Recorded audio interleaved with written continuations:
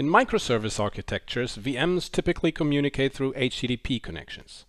JProfiler includes an HTTP client probe that allows you to measure outgoing HTTP requests and track them between JVMs.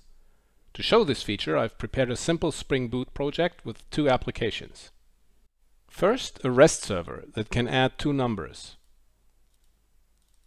It consists of a controller that has a mapping for the URL add and takes two numbers as arguments. The result of the operation is then written as a JSON object. Second, a gateway server. It serves static files and proxies API calls to the calculator server. The proxying is done by Spring Cloud Gateway and here we can see the route configuration to the calculator server. The HTML page to send requests is in the static directory. It looks like this. On clicking this button, a JavaScript method is called that takes these two numbers and sends them to the gateway server with a fetch request, and then finally writes the result to the web page. Let's try to profile this situation. In IntelliJ IDEA, we can profile multiple services at once.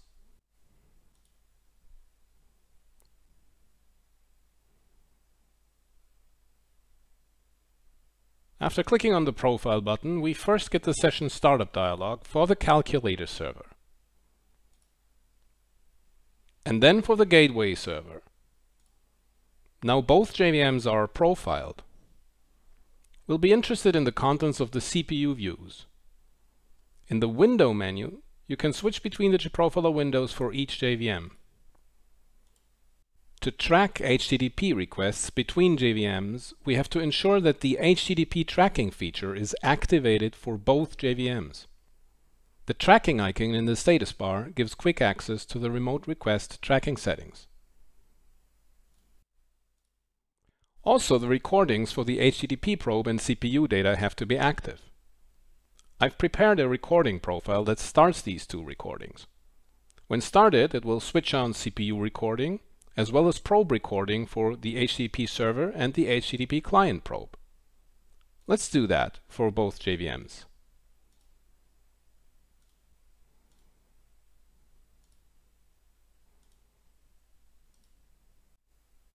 Now we generate the request by visiting the actual web page. Let's try to add 1 and 2.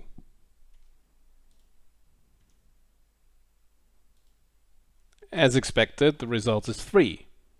Let's see how the request was handled. In the gateway, we see that the URL add was called, and below it we see a node that shows information on where the call came from and where it was proxied to. There is a JavaScript backtrace for the fetch request in the browser. How does JProfiler know about that? You get this automatically if you install the JProfiler Origin Tracker plugin in Chrome. The JavaScript icon here shows that this node holds such information. The signpost icon next to it shows that this node is also a request tracking node. At the end of the node, there is a hyperlink to jump to the execution site.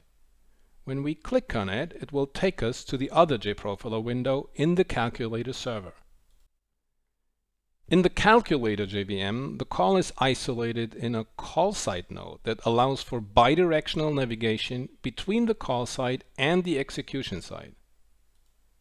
Note that clicking on these links always switches to the all thread states mode that shows elapsed times. The default mode in JProfiler is runnable.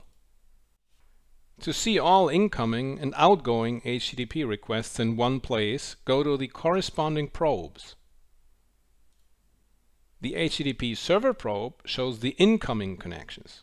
Here we see the hotspots view. The HTTP client probe shows outgoing connections. The default view here is the call tree view. Because the entire proxy operation is handled by the Spring Cloud Gateway framework, we don't see any stack frames before the payload with the server URL. Generally most interesting is the hotspot view with backtraces.